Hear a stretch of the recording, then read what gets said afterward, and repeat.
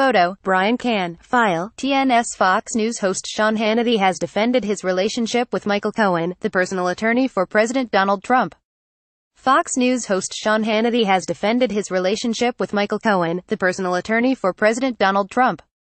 Photo, Brian Cahn. File, TNS Fox News supports Sean Hannity after learning he's a client of Michael Cohen New York. Fox News host Sean Hannity is under fire over the courtroom revelation Monday that he is a client of President Donald Trump's personal attorney Michael Cohen, a relationship never made known to viewers of his nightly program or his bosses. The failure to make such a disclosure while covering or commenting on such a story would ordinarily be a major breach at any journalism organization. But Hannity will not suffer any immediate consequences for it beyond the shaming by other commentators and journalists.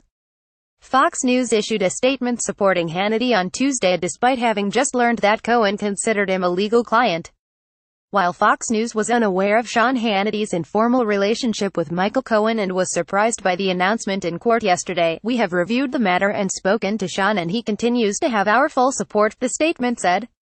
Hannity presented his own defense throughout the day on social media, his nationally syndicated radio program and, finally, his top-rated cable news show Monday night. Michael Cohen never represented me in any legal matter. Hannity said at the end of his program. I never retained his services, I never received an invoice, I never paid Michael Cohen for legal fees.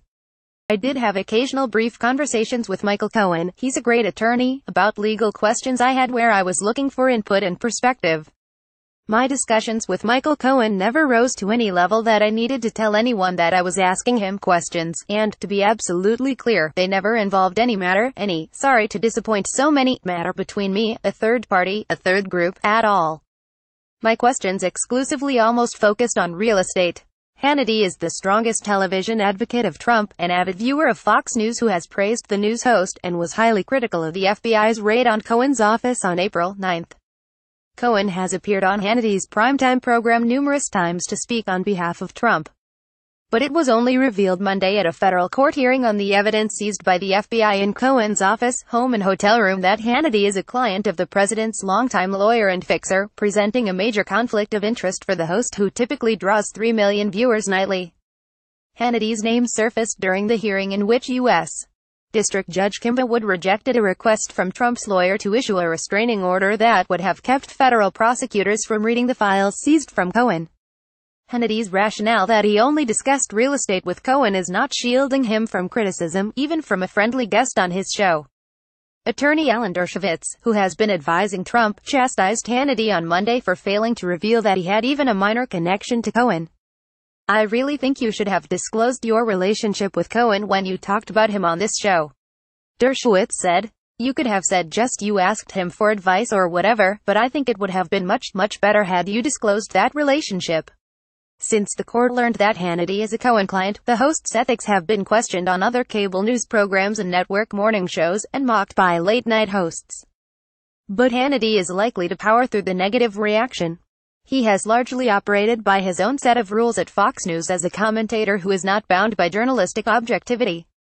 Jonathan Klein, a former president of CNN, said there will likely be no impact on Hannity's audience, the largest in cable news on many nights, as many viewers tune in looking for robust support of Trump. Many Fox News viewers might be delighted that one of its hosts is so tightly tied into Trump's inner circle and won't mind that he had not disclosed this before. Klein said. The Fox viewers are eager to cut President Trump a break, and they will be just as willing to cut Sean Hannity a break. Hannity is not only a cheerleader for Trump, but he has leveled nightly attacks on special counsel Robert Mueller, who is investigating Russian meddling in the 2016 election and whether the president or his aides broke any laws before, during or since the campaign.